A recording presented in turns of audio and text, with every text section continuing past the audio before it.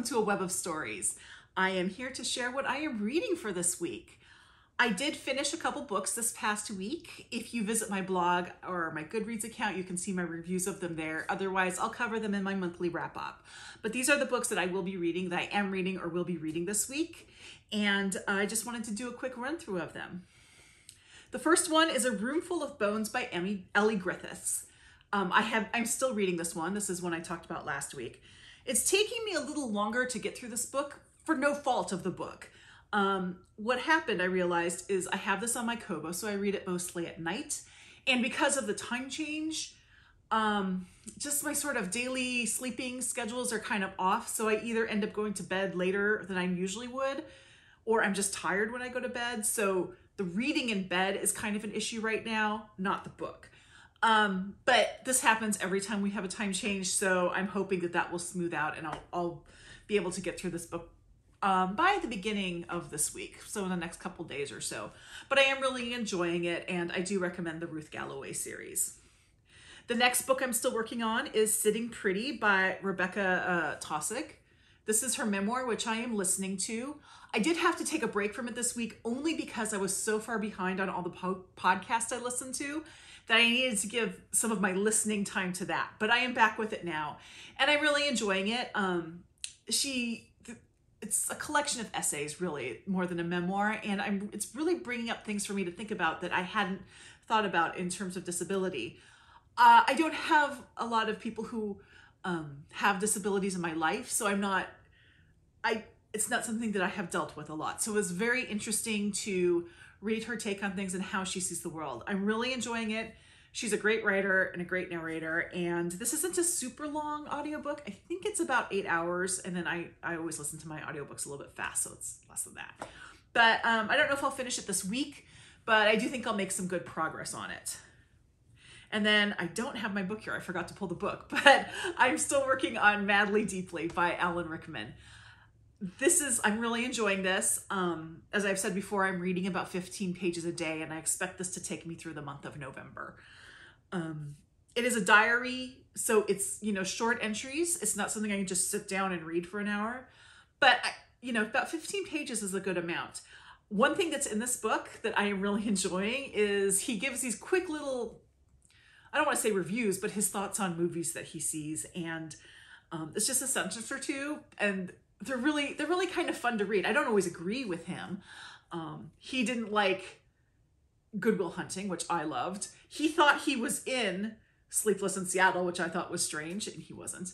So uh, it's those are kind of fun. Every time I come across one of those little mini reviews, it kind of is like, ooh, what does Alan Rickman think of this?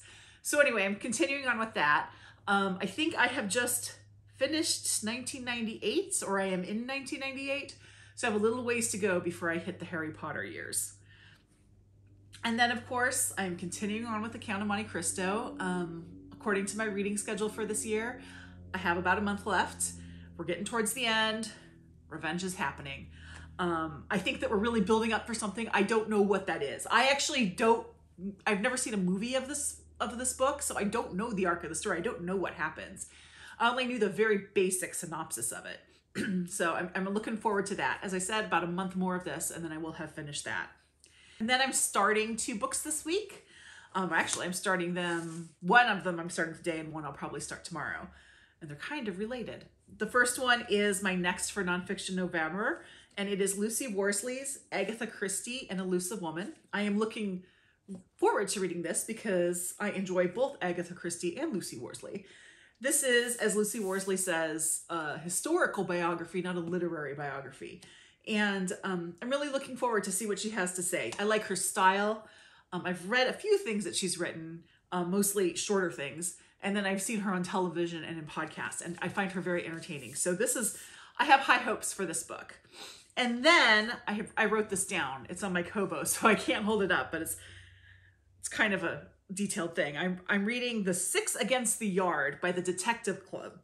And the authors who are in who contributed to this book according to Goodreads. I'm not sure Goodreads is correct on this, but I'm going to say who they said it was. Was Dorothy L. Sayers, Margery Allingham, Anthony Berkeley, our girl Agatha, uh, Freeman Wills Croft, Ronald Knox, Russell Thorndike, and George um, George W. something. I can't read my own writing. Sorry. I'll fix that. Um, I don't think it's all of those writers. I think that that was all of the members of the Detective Club, but I think only six of them um, contributed to this book. So I'm really interested to see how this goes. Um, I wasn't planning on reading this this month, actually. Um, actually wasn't even on my radar, but um, I joined the the Shedunnit book club, and this is their book that they're going to discuss at the end of November. So I thought this is excellent. So right now it's kind of my uh, short story book that I'm kind of reading along with. Um, I am reading it on my Kobo, so I think once I finish Ruth Galloway, I'll just continue with this one and finish it up before I start something new. But that's what I have going on this week. Um, hopefully I will have some new books for you next week. Um, I'm hoping to finish up at least one that I have going this week, so I'll have at least something new next week. But anyway, thanks for stopping by and I'll see you in the next video. Thank you.